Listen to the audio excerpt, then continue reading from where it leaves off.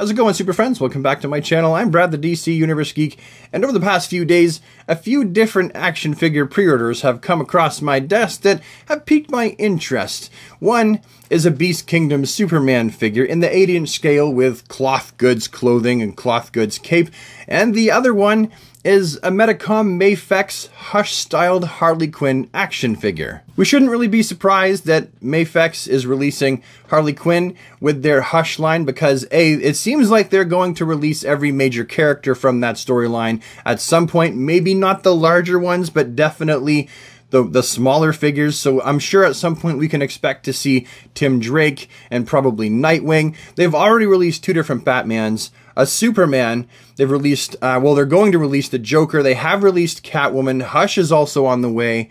So I'm sure that there will be more characters coming from Hush, and to me it's no surprise that the next one is Harley Quinn because she's a very, very popular character, well loved with the fans, and she's absolutely a moneymaker. Now we're going to come back to Harley Quinn in just a moment. We're going to look at those pictures in just a second, but let's come back to Superman and dwell on him for a second. I was definitely surprised to see that Beast Kingdom did have other DC characters based on their comic book appearances, some from very specific licenses under their belt. They're probably able to do this because they're 8 inch in scale and they're doing them in their very own way. I began to see images of the Dark Knight Returns Batman. And then there was also a classic comic book version of Batman. And we have, I believe there was a Dark Knight Returns Batman with Carrie Kelly. There is a black suited Superman that they have planned for release, but the one that stoked my interest the most was the fact that I saw they had a classic comic book version of Superman planned. Of course, that's going to be very high up on my list of things to get, the to get list. Now, over here on Beast Kingdom's website, here, we can see that this figure is going to go for 86 99 that's going to be the price for it. So what do you get for that price? Is this going to be a figure that is worth $86.99? Now I know a lot of people are going to say no figure's worth that much, and I, am kind of past that. I know it's the times. That's how much things cost. People got to get paid for their work. People got to make money. They got to make profit out of it. I'll pay $86.99 for an 8-inch scale version of Superman with cloth goods, everything. I just hit my other Beast Kingdom Superman.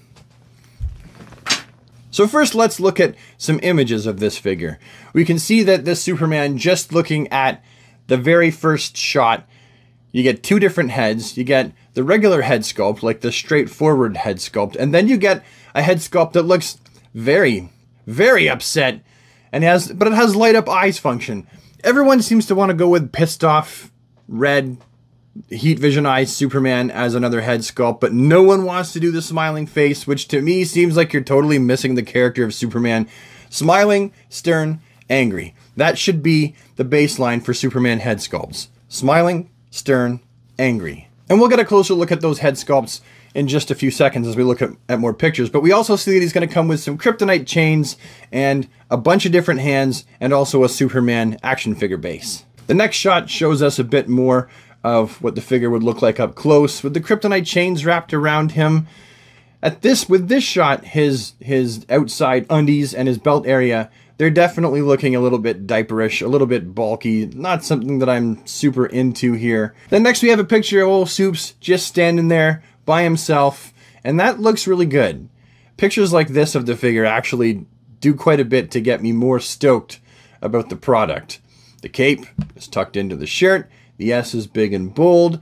His trunks are looking, at least with this shot, a lot less diaperish. I'm sure the finished product we get won't look as good as this. Someone has manicured this before the shot, but still, and I'm, I'm still quite stoked about it. Next, we got another shot of Superman just standing there, but it's up close, and we can see that the emblem on his chest is actually thinner than in the previous one. If I just go back to it, you can see that it's actually thicker the rubber is actually thicker, and on this one, it's clearly thinner. And it seems like they've gotten the belt area under control more at the top of the briefs. Maybe, maybe not just me, but it definitely seems like they've got two different figures that they've taken product shots of. Here we have an image of Superman standing in someone's hand.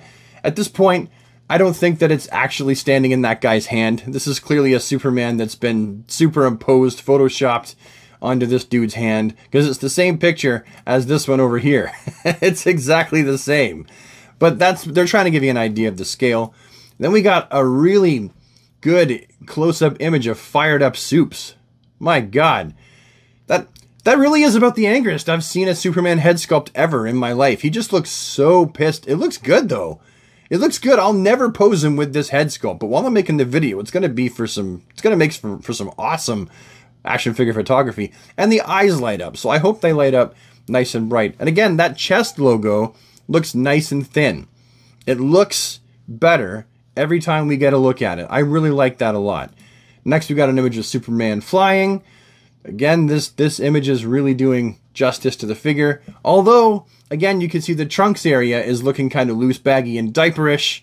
I'm sure those of us who get into customizing will fiddle with that a little bit to make it look just a little bit better. Seems like it's going to be kind of a, a, challenge for a lot of people, just the same as the Sideshow Collectible Superman had a really diaperish waist on that figure as well. Here we have an image of Superman flying. That's a great shot, and that really does a lot to bring out the figure. And again, I want to point out too, this figure clearly, you can see, is going to have a lot of articulation. It's going to have waist, torso, shoulders, bicep swivels, uh, double jointed elbows, highly articulated wrist, double jointed knees, a really well articulated groin and ankle articulation, and probably probably thigh cuts because that is that is Beast Kingdom's way with their with these DC figures, with these big ones. So he's going to have a lot of articulation. No problem with posability there. And then we have an image of the back of Superman. You can see his cape. It's they are going with a narrow cape. They're not going with a wide cape that then you then have to shove and tuck over his shoulders. They are, by the looks of it, going to go with a narrower cape. It just makes it easier to control. And then for the final image, we have Superman just sort of floating there. And again, this this is a shot that that really brings out the potential with this figure. If you're a Superman fan like myself, I would be excited about this figure if I was you. I'm well, I am excited about it, and I'm not you. I'll definitely be picking this one up. It, now it is slated to come out in April of 2022. In other words, in just under a year from now, this bad boy is supposed to be released. Let's read the details of this guy. This looks like a job for Superman. Of all the superheroes brought to life in the golden era of comics, Superman stands as the champion of all that is just and true. An alien from the planet Krypton, stranded in Kansas City, he gra- uh, no. he wasn't stranded in Kansas City.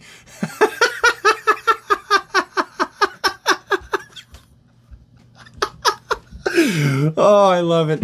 Lost in translation, so they say. He grows up to be a hero for all the human race. Faster than a speeding bullet, and more powerful than a locomotive. You could pause to read the rest if you'd like to.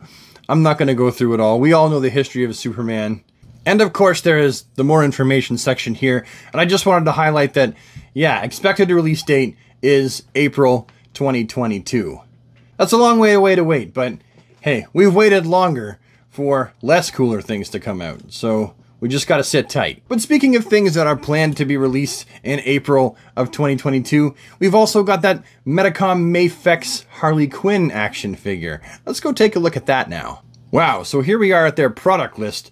They release a ton of stuff, and they're very quickly becoming my favorite action figure company. Their Harley Quinn offering looks really promising, as is everything they've done for the Hush action figure line. I feel like, in my opinion, Mafex has released the best stuff in the last year. As much as I really enjoyed Todd's stuff, I think overall, in general, if you're a six inch collector and you like highly articulated action figures based pretty reliably off of the appearance of certain storylines, in this case, Hush, but not limited to. We also have Nightfall uh, coming our way. We also have the Death and Return of Superman coming our way. And of course, we know that Mafex has been and will continue to release figures based on The Dark Knight Returns.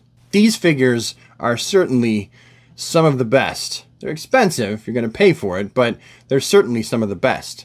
So the first shot is just Harley standing there with her hammer over her shoulder with one of the face sculpts that she's going to come with, because you'll see that she comes with three. I'm just going to go through the pictures in order. Looks, I, I just, she looks really, really great. They they nail it with their figures. And the next shot, oh, there's Harley with the hammer. Shh, same face sculpt. Got a better look at that hammer. There's the figure just standing there. looking like she's standing there in a you know, neutral face, neutral hands. Here's the same figure, but from behind, neutral, just standing there. This is the shot that has all three of the head sculpts. So neutral, angry, and cheeky. I don't know. I you know what? I don't know if I'm gonna have. I think I'll probably pose her with the cheeky and not the straight face. The straight face looks good, but I'll probably pose her with the cheeky face. To me, that's Harley. She's she's kind of off the wall, and that face really shows it. And then we got another iconic pose of Harley there, straight out of the comic books, leaning forward. You can see she's got a lot of articulation points, as we would expect, because she's a Mafex figure. Oh, and then there's the extra feet with the springs on the bottom. They're showing us that she's got the spring shoes. Very cool. And you'll see that again when we get to the accessories that she comes with. She doesn't come with that many, but she does the ones that she does come with, they're relevant. And then we have another shot of her looking very perturbed with her hammer over her shoulder. That's a great shot. It really brings out the overall look of this figure. It really brings that out. And then finally we have an image again of the hammer and the spring shoes. Those look like wooden Dutch shoes from here with springs on the bottom. So there we have it as far as the Harley Quinn. I will say this, I do feel like they kind of missed one important accessory and that's that Harley Quinn should always come with her mallet, like her hammer, and then a pop gun of some kind. Some kind of large, exaggerated firearm. I think when you include both of those accessories, I think you've got your bases covered.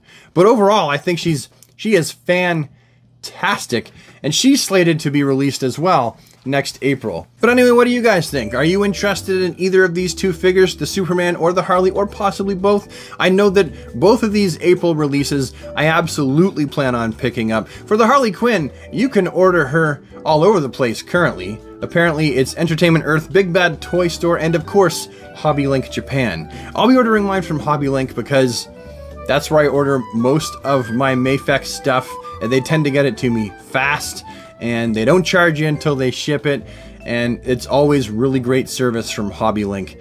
As far as the Beast Kingdom, uh, I pre-ordered mine from their website, so I'm sure you'll be able to pick it up as well from Big Bad Toy Store because I did order my Batman from Big Bad Toy Store. But those are some of the locations you can find these at. Anyway, what do you think? Like I asked, do you like one? Do you like both? Do you hate them? Let me know down in the comments section below. Let's get a conversation started, and I will see you next time. Have a good day, Super Friends. Take care.